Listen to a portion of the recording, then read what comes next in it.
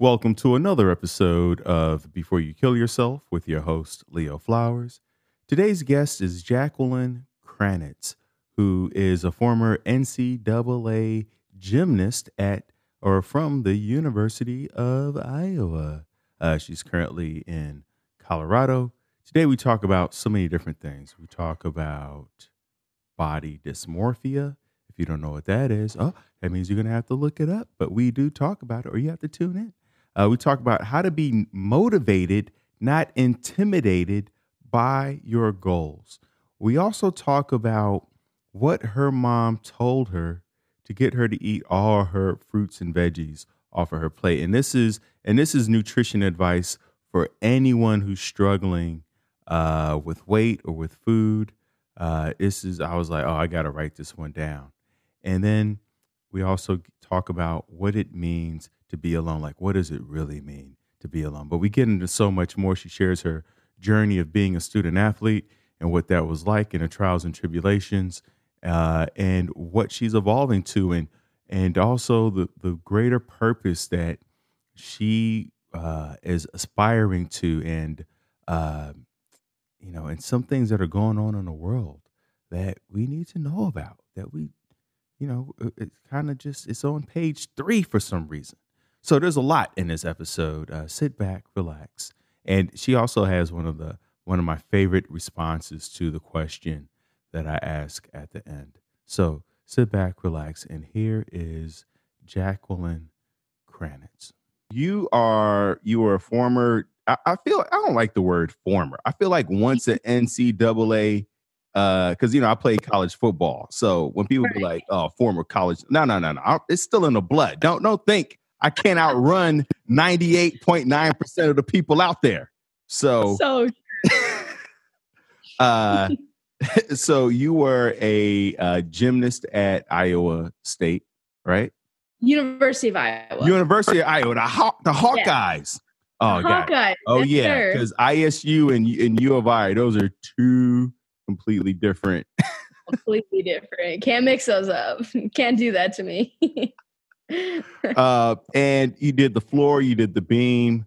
Floor beam vault and bars. When i played college football um, you know they offered up like a sports psychologist and uh, there was on-campus therapy. Did you take advantage of any of that? We had a sports psychologist but i never her personally um, not through iowa. Prior in my high school career i did take advantage of just like sports psychology in general but i never used the one we had at iowa. Was there was there anything that you've taken away from that experience with your sports psychologist at, at that time that you you still think about to this day? For sure yeah. I mean i saw actually probably quite a few different sports psychologists to kind of just find the right fit for me when i was younger and doing some really intense gymnastics especially when i was like 11 12 uh, trying to go elite which is like going on to more of the olympic path um, and I mean, I would say sports psychology does have, there's a lot of things that are applicable to life. Um, I always remember a lot of times I would have trouble in competition, like choking and like, or balking, like messing up when I knew they're on me. Um, and most of the advice that was given to me from my psychologist, my psychologist when that would happen is to stay right exactly in the moment I was in because I would always get so caught up thinking about like oh what's the next skill? What's the next routine? What's the next event? And it's so simple like the most simple advice like be present but it's applicable to sports and it's also apl- applicable to life um not thinking about like while I'm doing a bar routine not thinking about even if I have two skills ahead that are hard, still just focusing on the one I'm on. And that's something that I've kept with me all like in gymnastics and now out of gymnastics. So it's so hard to be present. I, I, I just started, not just started, I've been meditating for a while. And even though I've been doing it since college, actually, uh, it's still hard to just sit with yourself and, and to be oh, yeah. present. Uh, do you meditate too or no? I have tried. I really have. And it is literally one of the hardest things. It like you think it would be so simple. Like, oh, I just have to sit and do nothing. As soon as you try to do nothing, you'd rather be doing like a million other things. And the hardest part about it too is you don't even realize when your brain's like going off. Like and you're like in your like own and then a minute later you're thinking about like what you have to get at the grocery store, you know? And that's like the hardest thing about meditating for me, but I have tried it and I want to master it, but it's it's tough. Well, I think that's the part people leave out is that as soon as you do decide to sit down, that's when all your issues want to stand up. I mean, mm-hmm. basically, mm-hmm. you're like, whoa, I thought I was over that thing from 10 years ago. I guess not. Oh, yeah. Meditation. Thanks oh, yeah. a lot. it's almost like uh, meditating is almost like uh, Facebook. You know how like it reminds you of events from 10 years ago? It's like, hey, thought you were going to remember that breakup you went through. like, no, I, I didn't. I didn't, Facebook. I, I don't remember I opted yeah. in for that. But but that's, that's what that's what it does. Mm-hmm. Uh, and so, you know, right now on Instagram and, and through your social media, you've really become an advocate for self care, uh, living a balanced life. Um, no pun intended, being a gymnast. Um, and where did that where did that come from? Because I, so many athletes um, they balance. What it's like? No, you got to be all in. You got to be hundred percent this way or 100% that way. And to to you know be turning 21 and already be thinking about balance uh where did that come from? And then what does that look like for you now? Yeah so i mean being a gymnast like you said i'm turning 21 and i was a gymnast for i think 16 years I started when I was three, so and then was done when I was 19. So if I did the math right, if I didn't, that's embarrassing, but I think that's 16 years. um, and most of that time, especially as I got older, um, like even middle school, like especially middle school and high school, um, my entire life was gymnastics. Um, as a 12, 11, 12 year old, I was training 34 hours a week, I think, in the gym. Um, and I was going to camps in Texas uh, for, you know, five days at a time where it's, you know, eight hours a day of training, basically like any other kind of sports camp that's not an actual fun camp, like a training camp. Um, but I was 12 years old. And I guess for me, looking back at being that young, I wasn't really given a as much of a choice. I was given, but when you're that young, you have a lot of influence from coaches, parents, everything like that. Um, and all the girls around me seemed to be loving it. So I was like, oh, they're telling me I'm really good. I have a lot of talent. I can go somewhere. Okay, then I guess I'm in the right spot, even if it doesn't feel like that all the time, uh, you know? And as I got older, I kind of felt that same that same thing going on where I would question like is this really what I want to do? Um, and then I would also love it at the same time. So I'd always be conflicted. Um, and I had a great experience in gymnastics in high school and college. However, I just feel like there were a bunch of times where I wasn't liking it because it wasn't balanced. And I also wasn't liking it because when I would question quitting, I feel like that choice was actually I didn't have a choice. And I know that my fellow athletes can totally attest to this. Um, from the outside, people that don't do sports, they see athletes, especially college athletes, think, "Oh, they're they're on the grind, like they love this every day. This is this is what they do, what they love." And the reality of it is there are so many people like that. And I loved my sport. It was my craft, it was my it was me. However, what people don't see from the outside is the waking up at five in the morning and going to weights, the the being pressured in the gym on the field, the the conditioning, and yeah, I get those are things that are always going to be within it, and there's always going to be things you don't like, but the constant push of that is like way more, especially in college, um, on athletes that is just kind of overlooked. And when athletes get into that constant grind, I feel like so many other things in their life become overlooked, especially by coaches, teammates, friends. They just assume, oh, you know, football is you. That's what you love to do.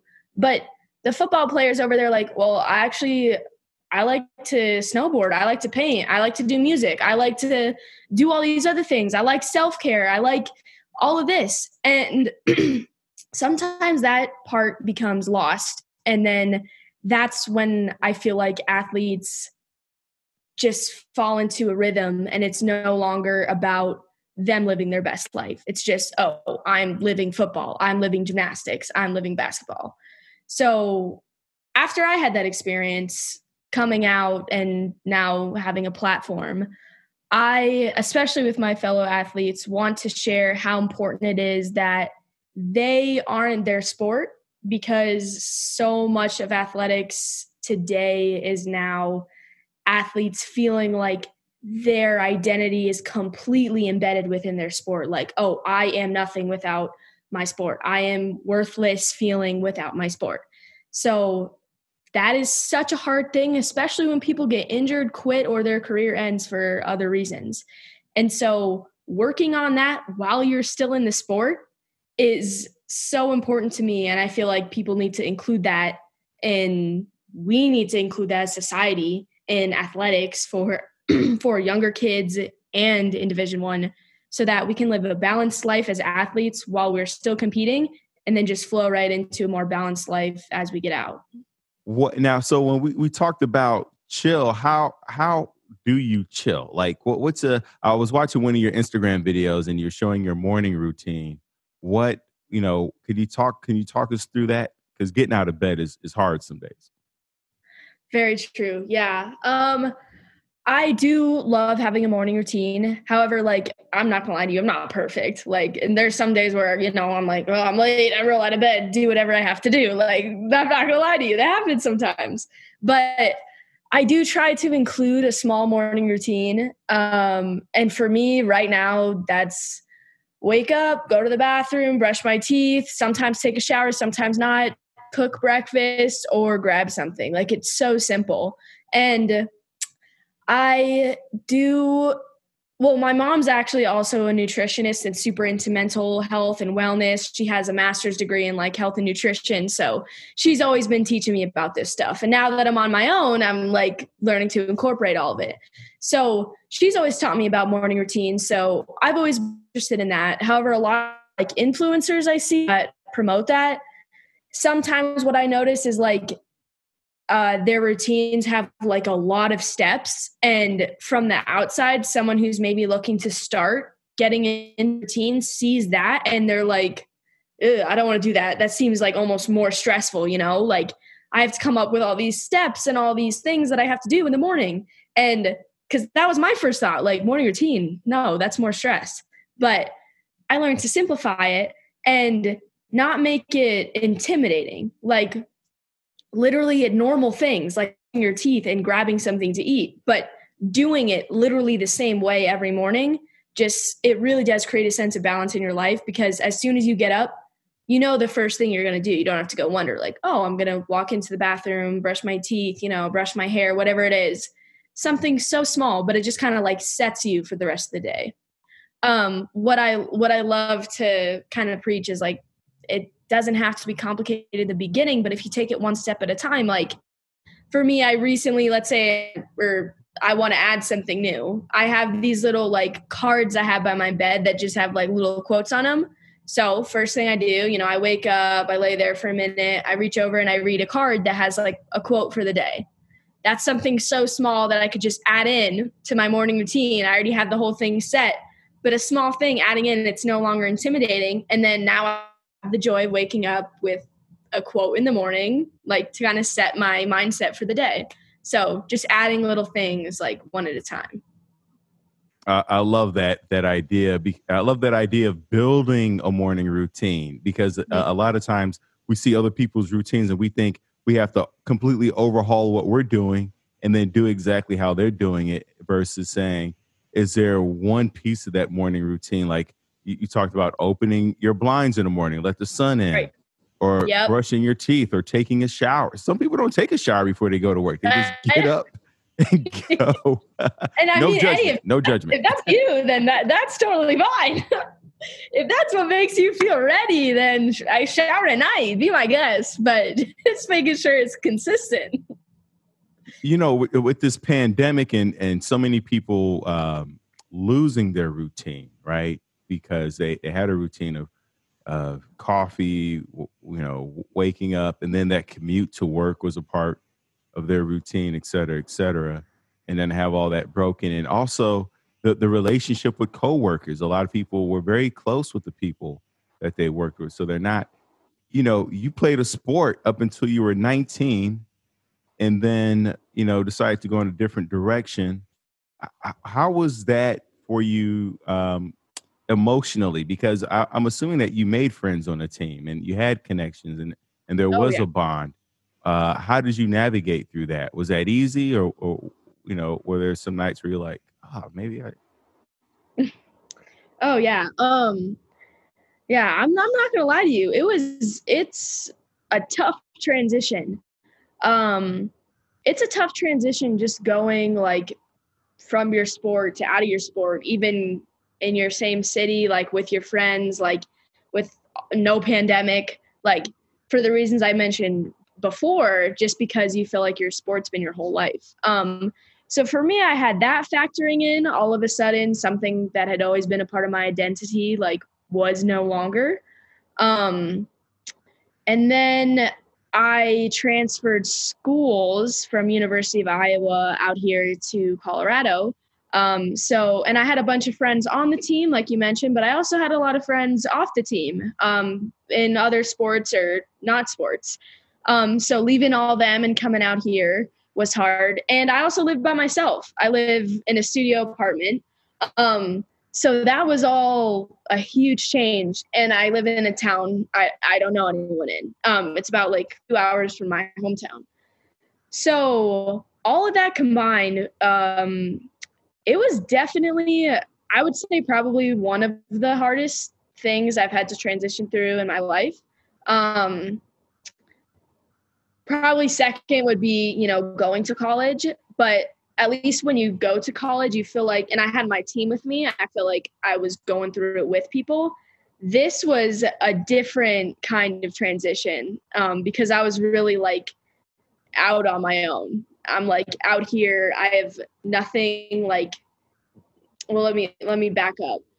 The biggest lesson i think i learned from this uh, from the sports aspect was being okay with not like not always having something to do.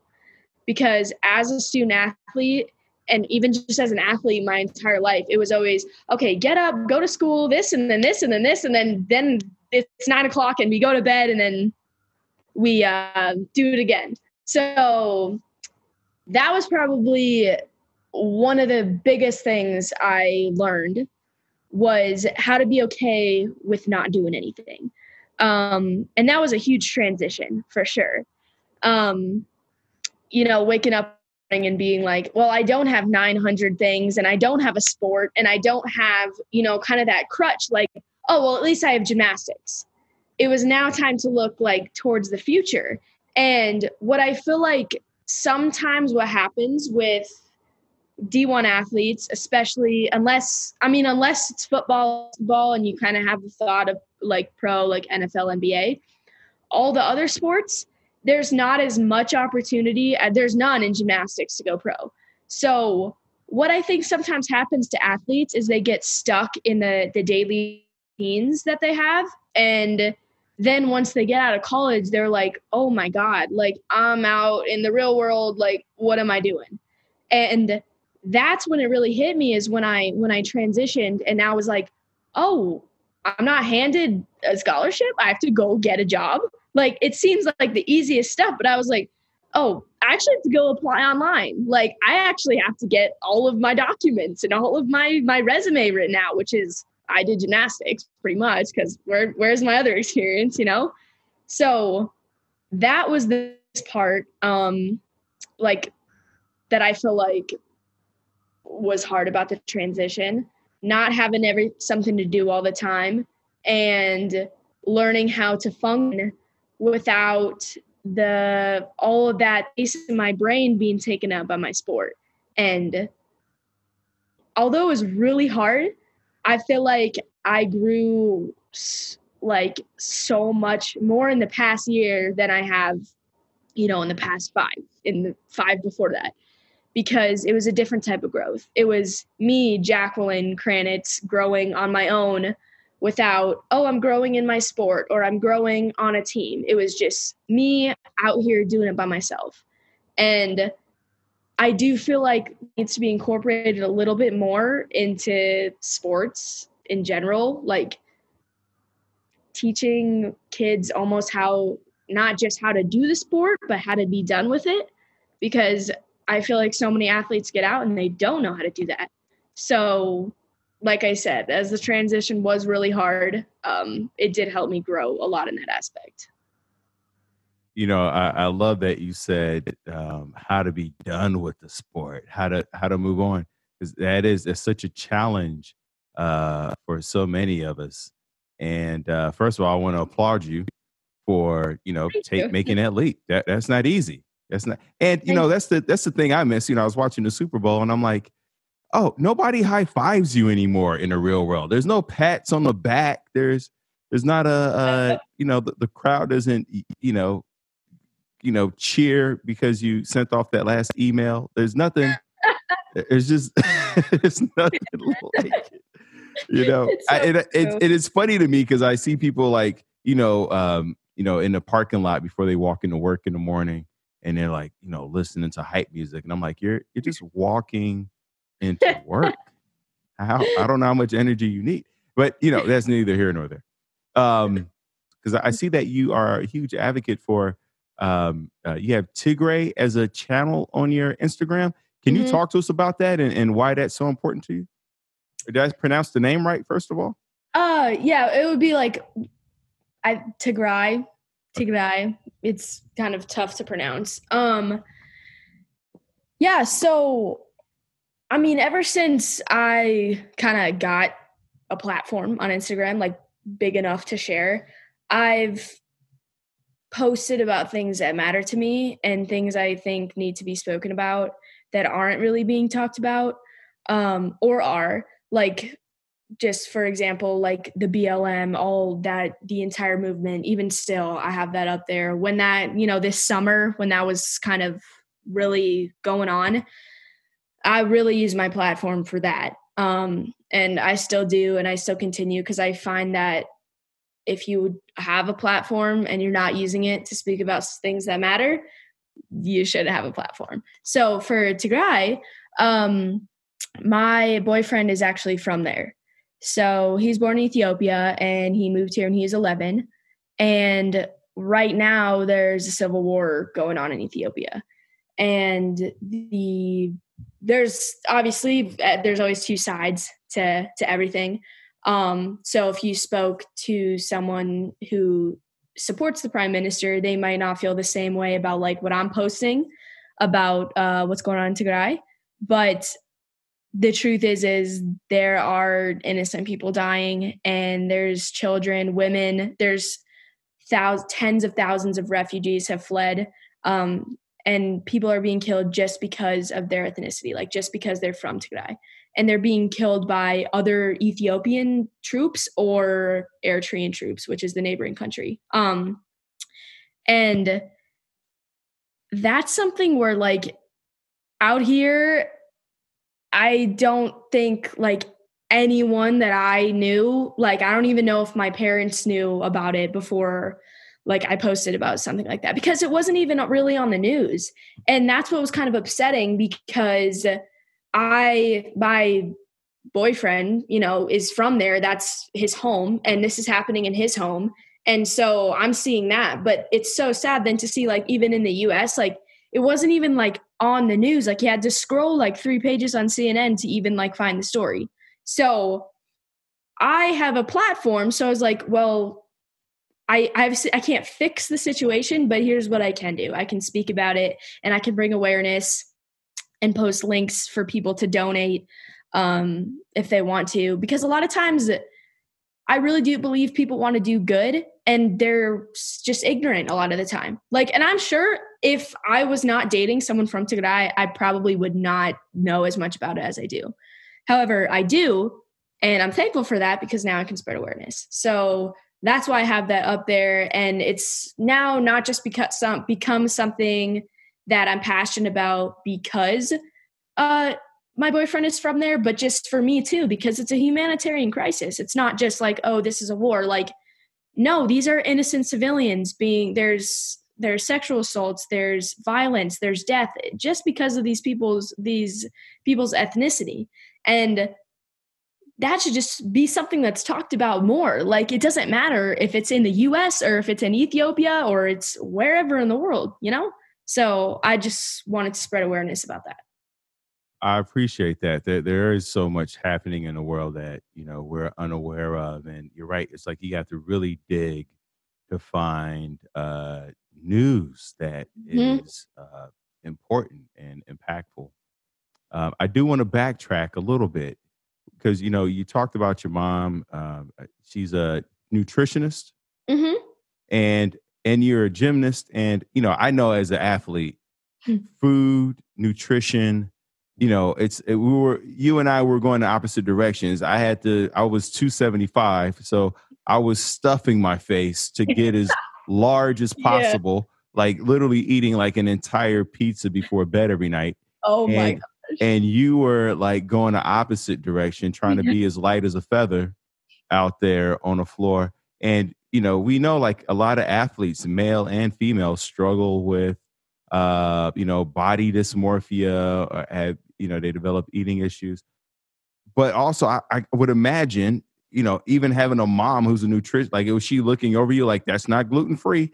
Like what you know that, that could either have been the, the biggest blessing or the biggest curse or like just a mix of the two you know like yeah. so how you know when we talk about balance how was that for you growing up in, in in a sport and then how are you you know balancing nutrition now yeah so like now it's a running joke in my family. It's so funny that you say that. Like it's literally a joke where like if one of us brings junk food home or something we like hide it from my mom and but the the truth of the matter is she's so not like that.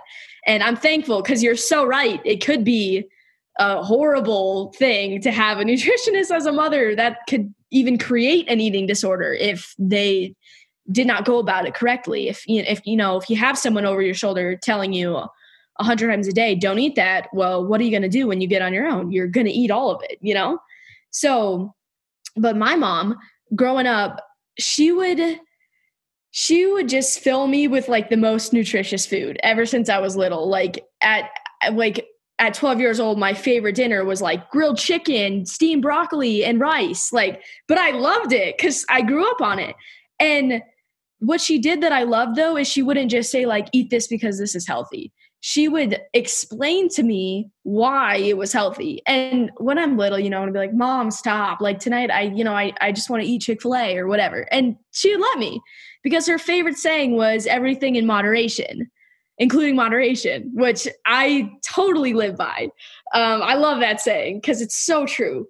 But she would always explain to me why things were healthy. And like I said, I don't know if I was ready to take it in until maybe I got out on my own. But so it was all good in high school. I was I was healthy, eating healthy, listening to my mom. And then when I got on my own, I noticed myself being like, "Oh, what would mom say?" So she did her job of ingraining the the thought process, not just like she another saying I love too is teach a man oh wait, give a man a fish, he eats for the night, teach a man to fish, he eats for life. So she didn't just give me the food, she taught me how to pick it out for myself. So, getting to college, I'd say it was a little tough, you know, because there's a lot more like, well, first of all, not a lot of money, not a lot of, I didn't have a, a lot of transportation. Like sometimes you just eat the dorm food, and if it's gross, you just eat it, you know? Um, so, learning how to be okay with that was actually probably harder than trying to stay healthy. Like being okay being like you know what? I'm gonna be okay if i eat a hamburger tonight or like I'm going to be okay if I eat something that's not as healthy tonight. So, because I always grew up with that nutrition, it was mentally teaching myself like okay you're not going to die if you eat something unhealthy so that was a big part of it for me um, going into college and i wanted to talk about a little bit you said about the body dysmorphia especially in uh, college athletes and man this issue is like so prevalent and like i i hate that this is a thing but in a lot of NCAA teams. Obviously, I'm not naming any, um, but it is known that they weigh their gymnasts in for lower weights, which, and even for football, like weighing higher, like you, I mean, I understand you probably had to be like huge to, obviously, I'm sure you're like a lineman if you're that big.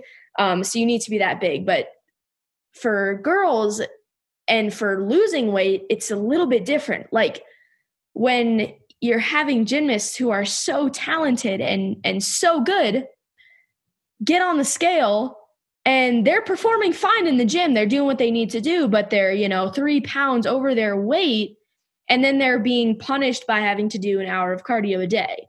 Like how is that healthy at all? Um i on my team never experienced anything like that. Um our team is not or actually the opposite. We ate all the time on our team. And that that's one thing i did love about iowa is they they made sure that that was um there was none of that toxicity coming in. But it's so prevalent and not even just gymnastics literally any women's sport. And i wish the message was not you have to be lighter to do well. I wish it was do your sport well. And if you're doing it well, I literally don't care how much you weigh, you know? So that's, it's so sad to me because I, I just, I see girls like being like, oh, I need to lose this. I need to, I need to look like this because then I'll, then I'll be better at my sport. Like directly correlating weight and being good. And it, that's just not it. Like football, a little different um because you kind of have to be big to be good.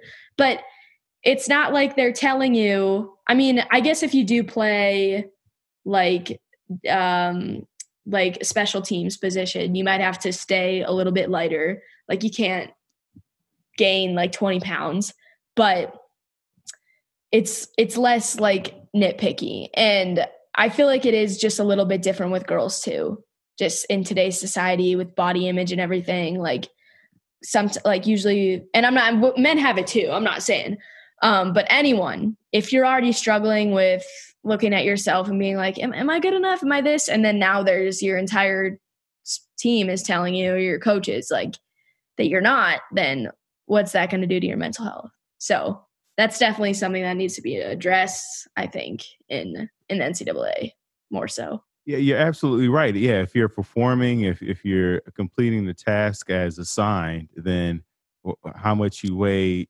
shouldn't matter. You're going to turn 21 this year. You you you have a platform. You're you're already promoting health and wellness and uh, mobility through your uh, your Instagram.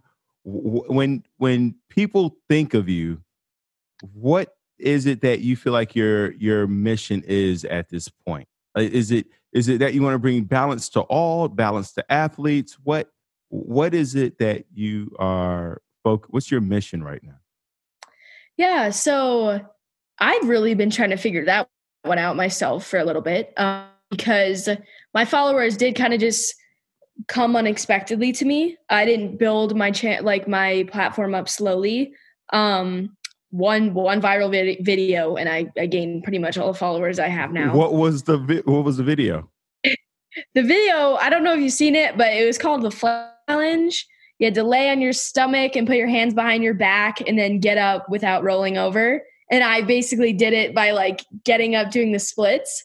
Um so that that's the reason why I have so many followers and I just find that funny because I'm like so you're telling me I've been doing the splits for 16 years, but I take one video and now I have 125,000 followers on Instagram. funny how that works, but so that kind of just took me by surprise. But so that's how I kind of gained my following. So I was like, wait, so I'm not going to be dumb. I'm going to take advantage of this, you know, not like this was a gift, like an opportunity. Uh, I want to think about what I want to use it for. And at first, I kind of just started doing like gymnastics, like tricks, like for fun.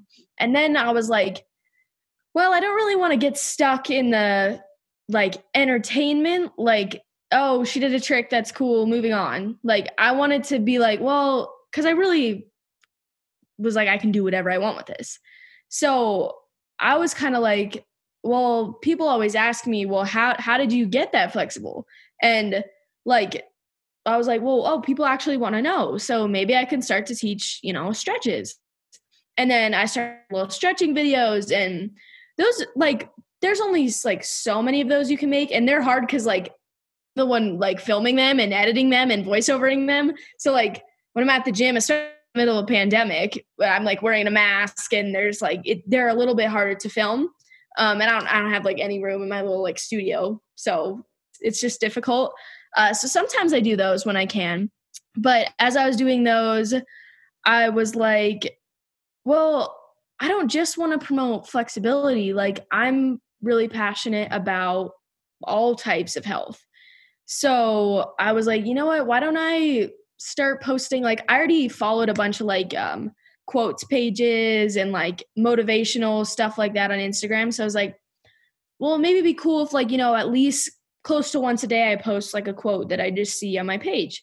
So it started to become more like I'm promoting I'm promoting flexibility, mental health, physical health, and then now kind of where I want to see it go, I I do I want to I hope to be an inspiration, whether but not one where people look at it and it's like wow, oh god, I'll I'll never get there. Like I would love people to look at what I do as a goal and an inspiration, but I want to be able to give them like the little small the like the small tidbits of information that they as they're going through their day, they think back and they're like, "Oh, well, that's something small I can do."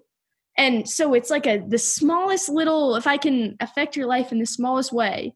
Cuz so many times we just scroll through social media, we'll see it and we'll be like, "Oh, that's cool," and then next.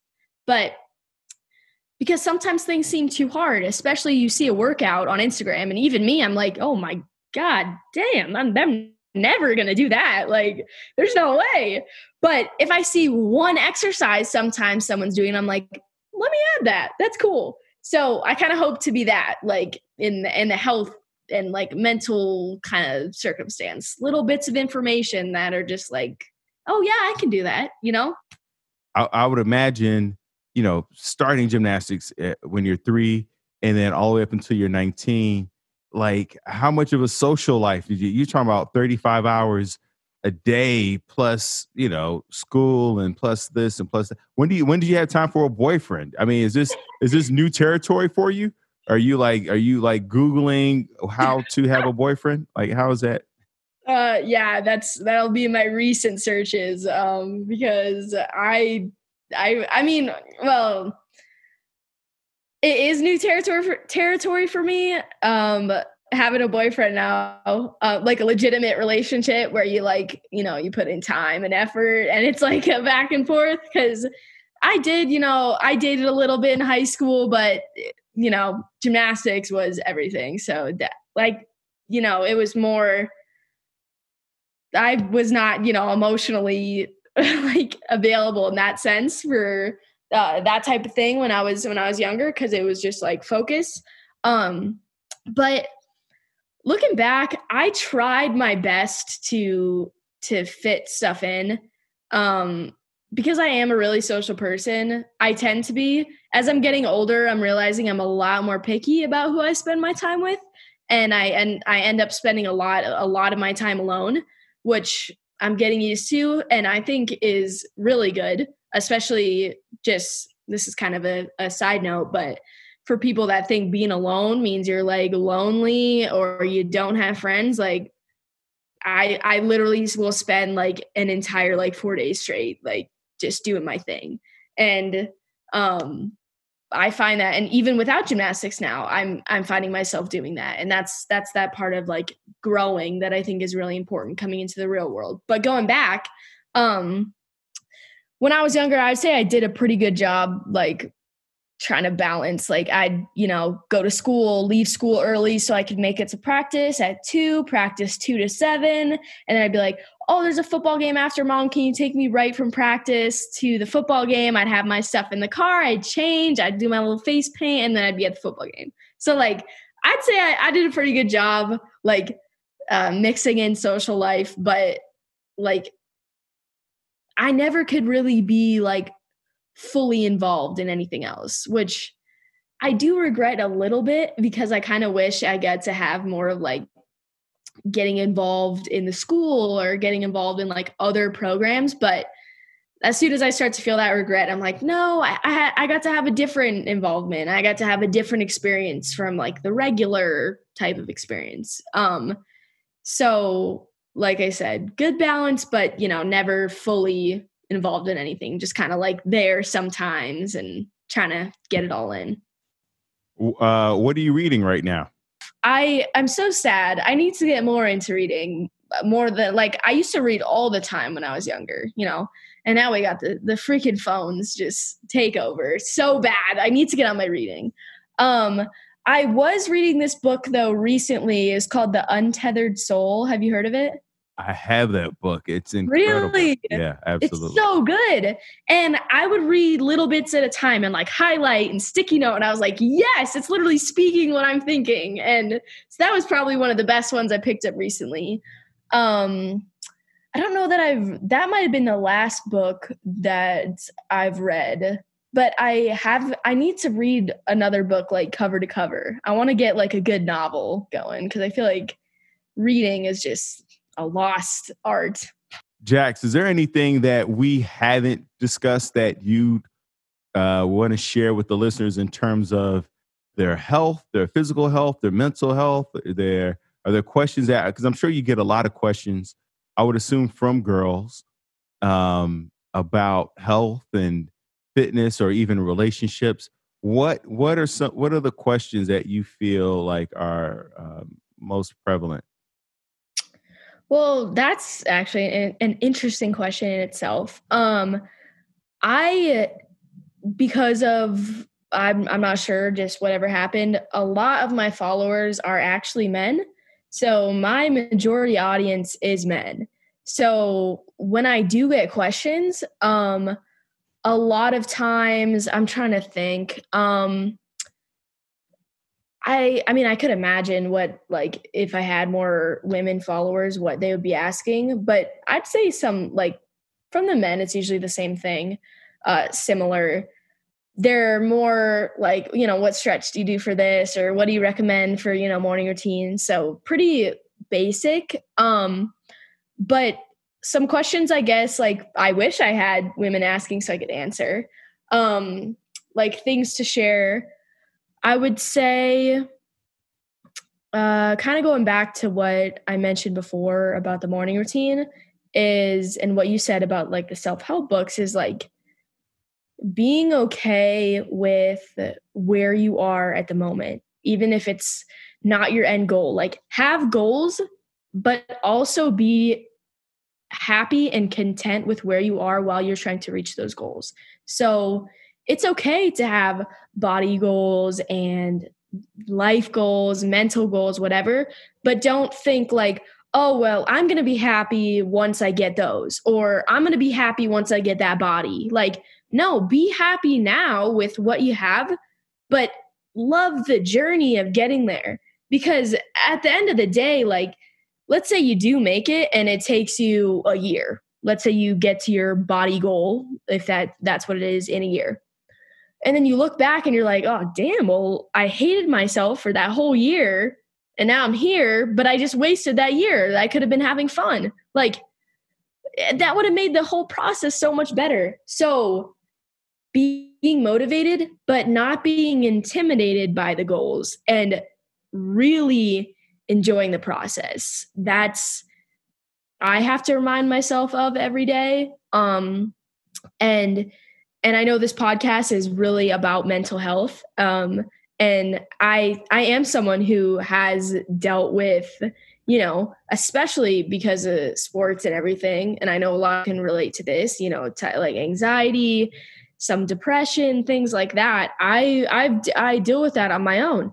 And with those type of things, what I sometimes have to remind myself, let's say I'm going through something or I'm having like a moment or like a panic attack, like something that's more like right in the moment, even if it's something that kind of lasts a week where I'm just feeling off.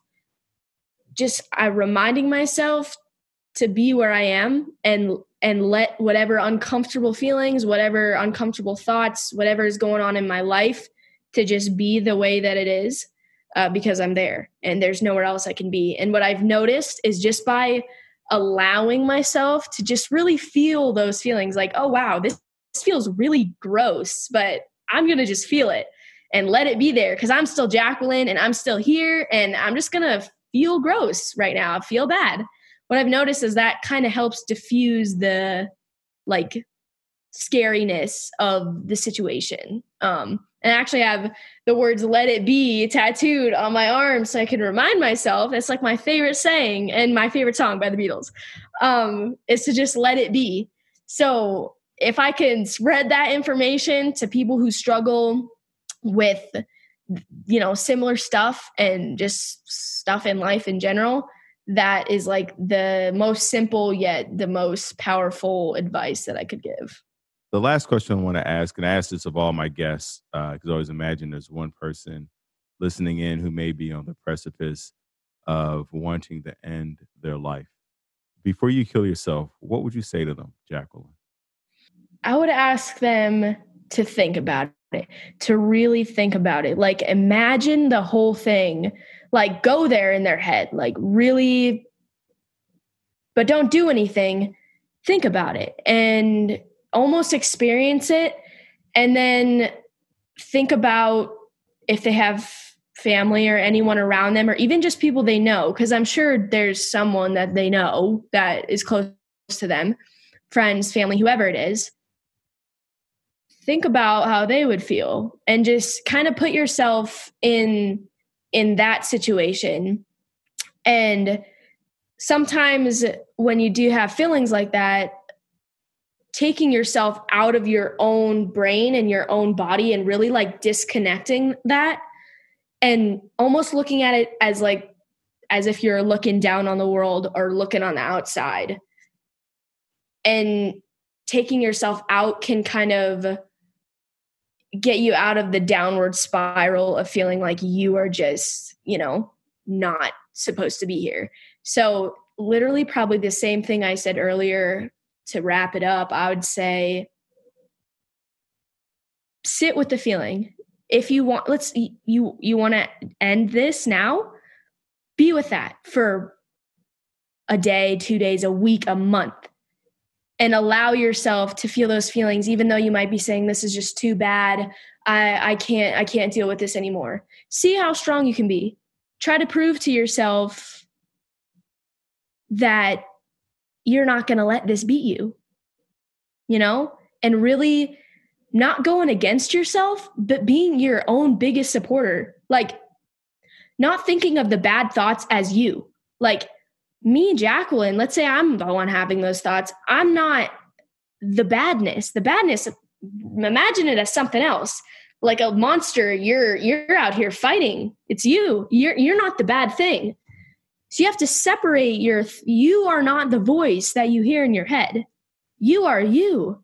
And I would say take that step back and really look and say is this me? Am I going to let this negative monster, this this thing that's not even me, take me down? And like or no, I can be with it. You know? I'm better than that. So I don't think that was a lot and that's a very difficult question. Hopefully I, I answered that one okay. But yeah, to sum it up, you are not your thoughts. You are you and being with however you feel and knowing that you're strong enough to deal with it. Uh, Jax, where can people find you? Plug all your things. Like online? Uh, wherever, wherever you want people to, to find you and, and connect with you or follow you, or uh, I called you Jax, Jacqueline, wherever you yeah, want. Yeah, either way. Jax is probably easier because that's my Instagram, but that's probably the best way to reach me. I, I don't spend, I spend most of my time uh, focused on Instagram if I am on social media. Um, sometimes I like to, like I always say, keep a balance because social media can get a little toxic. Um, so I try to keep it to one main platform. I mean, Snapchat, I post fun stuff too. So that's really the more real me. Um, so you can find me on Snapchat at Jax Kranitz or Instagram, which I mean, no, Instagram at Jax Kranitz, and then my Snapchat is like linked. So Dope. Thank you so much to listeners for listening in. Remember, this podcast is not a substitute for you going to get help, for you calling the 1 800 SUICIDE or 1 800 273 TALK, or the million of other phone numbers, texts, groups that I list in each and every show notes. There are, you can text somebody, you can call somebody, there are group chats. I know I have international listeners. There are international phone numbers for each and every country in the show notes. If uh, you need a suicide safety plan, that's also linked in the show notes. If you need help paying for uh, your mental health resources, there are links in the show notes. The help that you need are in the show notes. There is someone who is waiting to listen to you, to hear you, to sit with you and your monsters. Uh, if you're if you're uh, looking for one-on-one coaching, go to thrivewithleo.com. Uh, if you're struggling, you feel alone, uh, and you want to feel connected, find meaning, go to thrivewithleo.com for one on one coaching with yours truly. Let's get to tomorrow together. Thank you so much, Jacqueline. Thank you so much, Leo.